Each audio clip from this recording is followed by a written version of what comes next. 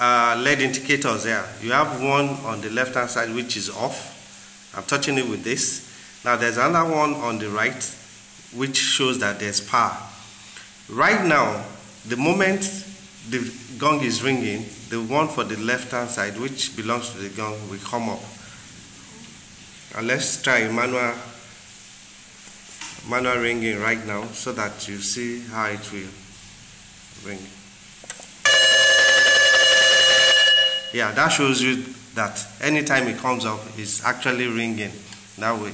In same vein, when you're going on holidays, there's a switch by the right hand side.